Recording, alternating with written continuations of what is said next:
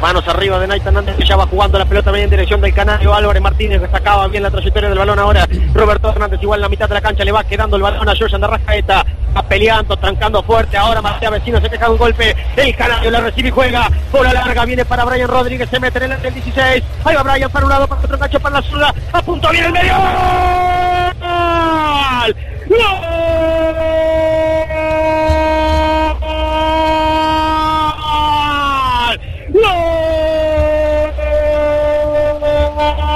Uruguayo. Otra vez el 10. Otra vez Georgian de Rascaeta. Buena jugada. Bola larga del canario Álvarez Martínez para Brian Rodríguez. Para un lado, para el otro. Se metió en el área. Tocó el medio. Y por allí llega el 10. Georgian de Rascaeta. Puja la pelota. La manda a la piola. Grítelo festejelo, está ganando Uruguay 1 a 0. Sí, era lo que precisaba Uruguay, empezar el partido rápidamente ganando y lo consigue con el de Yoyan la Racaeta nuevamente, un buen eh, pase cruzado que Brian Rodríguez desborda, tira el pase al medio y aparece solo Jordan para definir y poner el primero para Uruguay que a los 15 minutos ya está ganando 1 a 0. Gran jugada de Uruguay, un gran pase de Álvarez Martínez para Brian Rodríguez que en el mano a mano desequilibra, siempre gana y aparece quién, George Rascaeta, que está en un gran momento futbolístico y lo está demostrando, lo está demostrando en la selección con el 1 con el 1 a 1 del otro día, ahora vuelve a mojar y gana, la Celeste 1 a 0. Tiro libre finalmente para Uruguay. Lo bajaron afuera finalmente al futbolista Brian. Le pegó. Tiro libre. El pajarito. ¡Gol!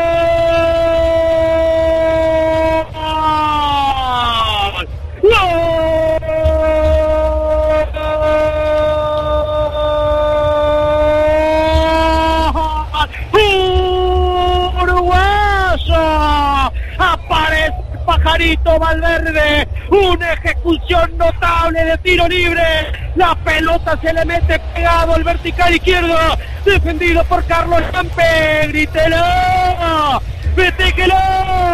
Ahora Uruguay le gana Bolivia 2 a 0. Terrible golazo, pero terrible golazo de Pajarito Valverde, un tiro libre exquisito.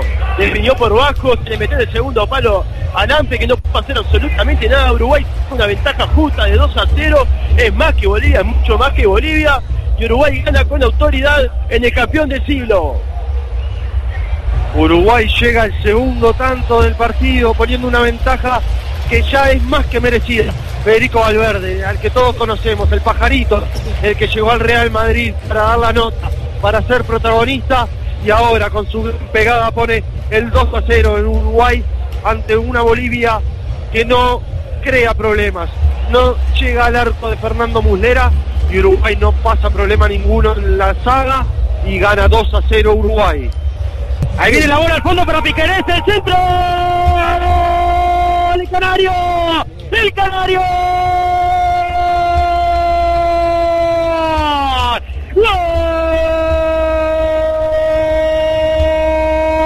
¡Gol uruguayo! ¡Gol uruguayo!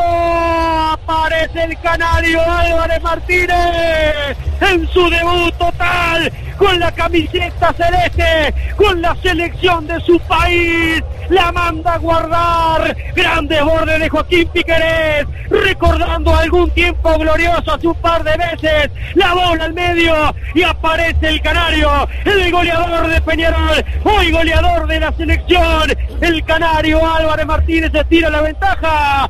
¡Grítelo! ¡Fetéjelo! ¡Está ganando Uruguay 3 a 0! Sí, decíamos que Uruguay iba a salir con la misma intensidad a tratar de liquidar el partido y así lo hizo. En la primera que tuvo el centro para al medio que entra solo Álvarez Martínez y convierte su primer gol con la camiseta de la selección uruguaya. Lo había buscado durante todo el primer tiempo. Arranca el segundo y se le dio merecido tanto para el jugador carbonero. Uruguay se pone 3 a 0 en el partido y lo liquida una gran jugada, un gran paso filtrado que Piquerés llega ganando nuevamente la espalda. Y el Canario, el Canario como los grandes goleadores en el área chica definiendo con el muslo, ni siquiera le pegó con el pie ni con la cabeza, con el muslo la termina metiendo.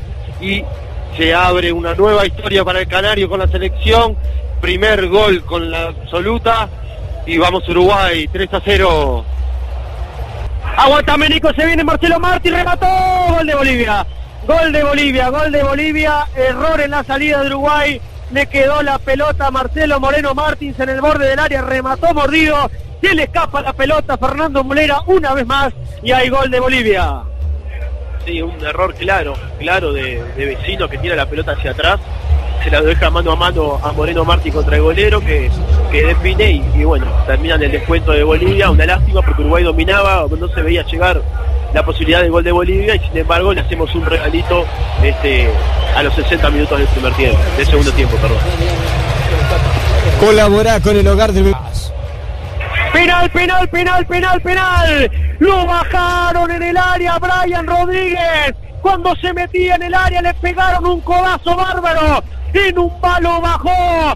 Penal, dice Aquino para Uruguay. Bueno, creo que Brian, hay que ver, hay que ver la repetición, lo van a mirar 40 veces. Pero bueno, Uruguay creo que está, entró después del pase, del, mal pase y el gol boliviano, Uruguay entró en un saco de nervios. Se puso muy nervioso, empezó a perder muchas pelotas, faltas, impreciso. Y ahora llega una linda jugada entre Brian y Rascaeta que se lleva un manotazo, a mi parecer se lleva un manotazo en la cara y cobran penal, pero hay que ver qué deciden. Vamos a ver qué criterio utiliza esta vez el VAR para ver si cobra o no cobra penal. Hay que ver qué criterio utiliza el VAR. No nos olvidemos de eso. Hay una falta de criterio enorme con el tema del VAR y vamos a ver qué se resuelve. Le pregunto a Nicolás Vidal ahí si vio alguna amarilla, no logré detectar si hubo alguna sanción disciplinaria para el lateral derecho de Bolivia. No hubo nada por ahora. Bien, gracias Nico. Penal para Uruguay. Lo va a hacer efectivo Georgian de Rascaeta que ya agarró la pelota. Cuando la gente empezó a gritar en un momento Canario, Canario, la pelota finalmente le queda a Georgian de Rascaeta para impulsar el penal. Todavía la están revisando. Puede para mí, por la imagen televisiva que nos arroja la televisión, la televisación, me parece que puede haber algún tipo de sanciones. Y me parece que fue un codazo un tanto demasiado agresivo eh, sobre Brian Rodríguez. Finalmente habrá penal para Uruguay. Tras lo que después hablan es mudanza, servicios de embalaje y guardamuebles. Si te mudás, llamar 24 19 00 26 099 685 844. Vamos al interior. Atención personalizada. Bueno, increíble lo que acaba de pasar. Se va eh, de la cancha el futbolista que acaba de hacer el penal y podía quizás recibir una tarjeta roja. El árbitro, el entrenador César Farías se aviva rápidamente y lo saca. Ya tenés el cambio, Nico. Nomba y entra Sagredo Jesús. Gracias, Nico. Le va a pegar Georgian de Rajaeta. Le va a pegar el 10. Busca estirar la ventaja a la selección uruguaya. Va en busca del cuarto Georgian. En busca de su segundo en la cosecha personal. La orden de Aquino. Toma carrera el número 10. Ahí va Racaeta.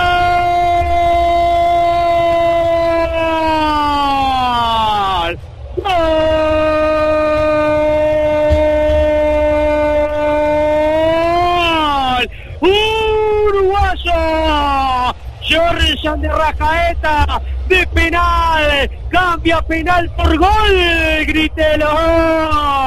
¡Fetéjelo! Uruguay es un pared. Uruguay le gana 4 a 1 a Bolivia. Sí, una gran definición de Racaeta, define abajo el palo derecho, Lampe no adivina, va para el otro lado y Uruguay de esta manera convierte el cuarto gol que le da tranquilidad después de algunos minutos de, imprecisiones y de mal, malos momentos, sobre todo a nivel defensivo. Creo que este cuarto gol le da el aire que necesita para terminar tranquilo el partido.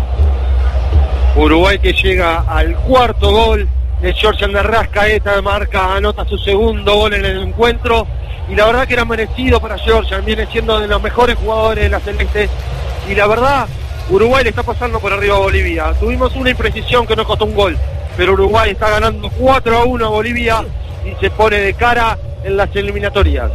Se vienen nuevas variantes, nuevas caras en la selección uruguaya. La pelota manejada en la mitad de la cancha ahora por el futbolista Justiniano. Ahí la tiene el número 6. Abre el sector izquierdo ahora para Roberto Fernández. En zona ofensiva la tiene Bolivia. Juega la pelota ahora para Vaca. La va teniendo Hernán Vaca. Ah, buena marca ahora del futbolista Naitan Nández. Juega para Barrascaeta. Ahora Terán viene para Naitan. Recibe Naitan. Cae en la mitad de la cancha Naitan. Un poco extenuado el ex jugador de Peñarol. La pelota viene impulsada al sector derecho ahora para Saavedra jugando un poquito más atrás ahora, donde la va teniendo por allí el futbolista Jaquino. El cambio de frente duerme en el pecho ahora de Roberto Fernández, la tiene el número 17, juega hacia adelante ahora para Vaca, el que la va teniendo finalmente Sagredo, Justiniano, ahora sí viene para Vaca, la va jugando hacia el sector derecho para Sagredo, viene otra vez para Vaca, y viene el número 10, picante el zurdo, sigue el futbolista Vaca, viene el centro pasado, que es el penal, mira vos, penal cobró Aquino, mira vos. Penal de Naitan Nández, cobra Aquino. Penal para Bolivia.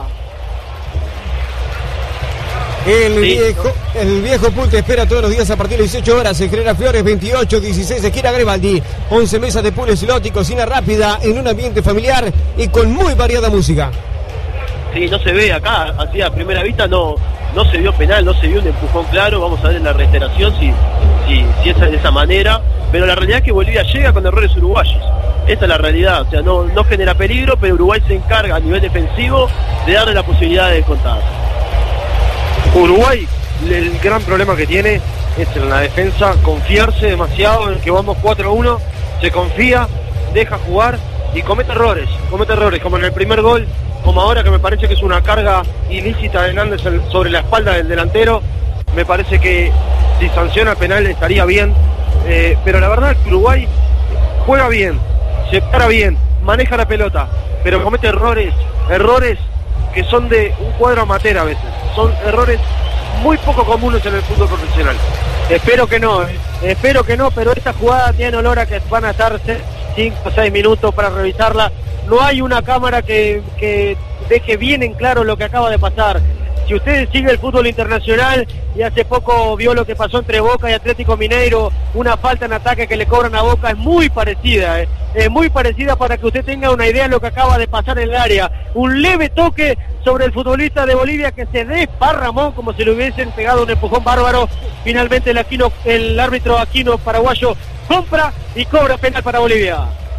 GP Salud Corporal, masaje descontracturante, masaje para bruxismo y mucho más. Guillermo Peña, terapeuta, 092-232-232, Instagram, arroba gp.salud corporal. Como bien vos decís, digo, acá yo hace tiempo vengo diciendo el tema del criterio del VAR. ¿Qué, qué, qué criterio utiliza el VAR? Para cobrar una u otra falta. Bueno, parece que no hay nada definido. Si cobra penal eh, y en la otra no, vamos a ver qué pasa ahora hay una gran silbatina, se sigue esperando por el bar. Otra de las cosas que no puede seguir pasando, demorar tanto tiempo para ver si se cobra o no se cobra, si eso no es, debería ser automático. A ver, lo revisamos una, dos, tres, cuatro, seguimos hablando y esto no se resuelve. Hay que ver a ver qué pasa. Ahora la va a mirar. Esto es un... Eh, a ver, no se entiende el criterio del bar, la qué verdad. Bárbaro. Qué bárbaro, qué bárbaro. A los 77 y medio cayó el, el futbolista de Bolivia. Van 79 y medio, dos minutos eh, mirándolo los muchachos en el bar. Ahora se decidió ir el paraguayo Aquino a ver la jugada. Contador, ¿qué viste? Pero es increíble, me parece que, o sea, desde el primer segundo me parece que el VAR lo tendría que haber llamado porque se ve claramente que es dudoso. Desde el minuto uno que se ve que es dudoso, llama al juez para que lo vaya a ver.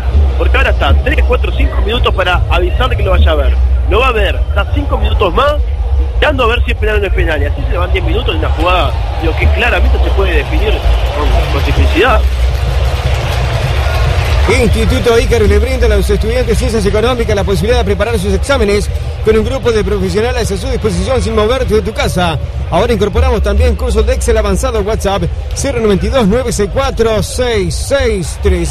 ¿Te preocupa tu salud bucal? No lo pienses más. Dental Malvin. Tenemos todas las soluciones de los más chicos a los más grandes. Ortodoncia, prótesis, implantes. Orinoco 5127 celular 092-228-944. También por WhatsApp y en Instagram. Arroba Dental Malvin. Vamos a contarle lo que le- a la gente lo que está pasando. En este momento el árbitro, el paraguayo Quino, está viendo la jugada. Van 80 y medio. Hace tres minutos cayó el hombre boliviano en el área de Uruguay. donde el paraguayo cobró el penal, demoró dos minutos en que lo llamaran, ahora hace un minuto que estaba sacando los jugadores bolivianos que se acercaban para ver la jugada en el bar, querían eh, corroborar que había sido penal, para mí es mancha. Y esto es penal, de estos penales hay 950 por partido en cada tiro de esquina. Si va a cobrar este penal, van a haber 230 penales por partido. Creo que la verdad, eh, estas cosas no pueden seguir pasando. Por el bien del fútbol, eh, eh, a nivel mundial, no pueden seguir pasando que estemos esperando cinco minutos para ver si tenemos un penal a favor, en contra, una falta, no falta, roja. No puede ser que estemos esperando cinco minutos para ver qué es lo que pasa en el fútbol. Han, desvirtuado el fútbol. La verdad que se ha desvirtuado todo con esto del VAR me encanta que que quieran ser lo más justo posible, pero esto es un desastre, así armado es un desastre. 81 y medio, y adivinen qué está pasando, aquí no sigue viendo la jugada, todavía no ve un penal que para él fue clarísimo, porque en primera instancia lo cobró, claramente tan claro no fue. La verdad que no, se ve que es muy dudoso, no se ve la carga este, en la espalda de, del jugador boliviano. Es una jugada muy fina, muy fina. Y el, la escuela sigue mirando para tomar una decisión que incluso se tomó el tiempo para ir a discutir con el banco boliviano, ¿no? Este, se ve que le sobra el tiempo al juez del partido que, que pudo ir a pelear también y, a sancionar al, banco de suplentes boliviano en vez de ir a ver la jugada rápidamente. Yo no entiendo cuál es el, mecanismo que utilizan eh, de complicarse al divino botón. A ver, ahí toma una decisión Aquino, veremos qué decide cobrar. A ver, Aquino finalmente cobra penal. Hay penal para Bolivia finalmente.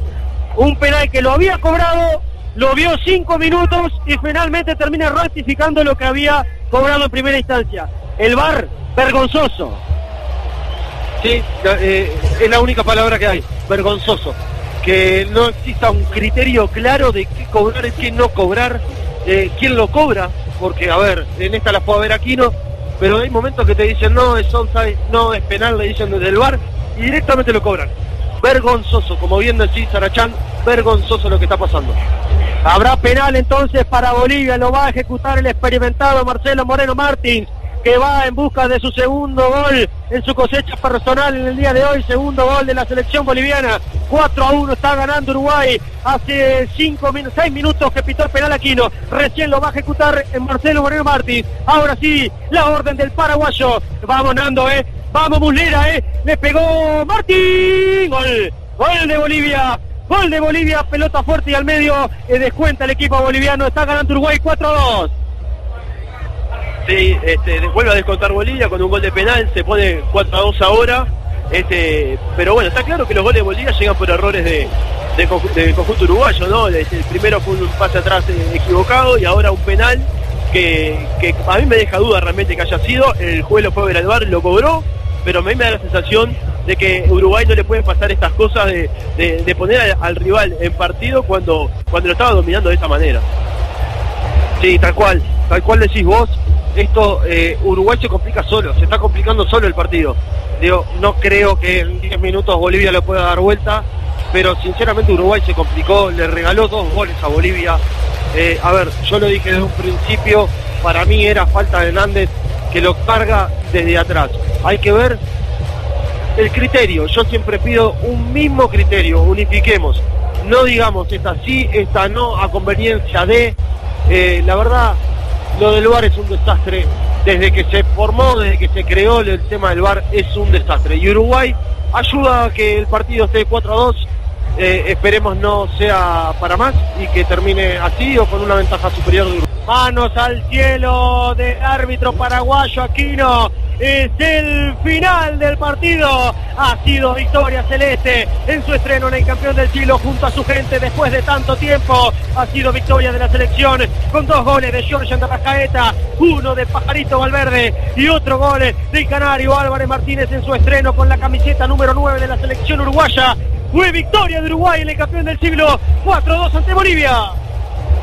Sí, una buena victoria de Uruguay en líneas generales, creo que mantuvo la, intensidad en casi todo el partido, creo que el factor negativo es claramente los goles de Bolivia que llegan por errores del conjunto uruguayo, podría haber sido más abultada la diferencia, pero de todas maneras creo que hoy la selección necesitaba volver a la victoria, hoy se volvía a encontrar con su gente y lo logró, lo logró de buena manera, Uruguay ganó 4 a 2 suma tres puntos más en las posiciones que son importantes y está en la pelea de la clasificación a lo que es el Mundial de Qatar 2022. Sí, como bien decís, Uruguay gana y se lleva los tres puntos. Es importantísimo de carrera lo que es a Qatar. Pero el tema está en que Uruguay los últimos 25 minutos fue totalmente distinto a lo que fue en el primer tiempo. Uruguay en el primer tiempo fue intenso, jugó por ambas bandas y en el segundo tiempo arrancó notable. Los primeros 10, 15 minutos impecable y los últimos 25 minutos Uruguay dejó mucho que desear. Jugó eh, con muchos errores, muchas imprecisiones, un Bolivia que si bien fue a buscar, no debería haber complicado tanto a la Celeste como lo hizo.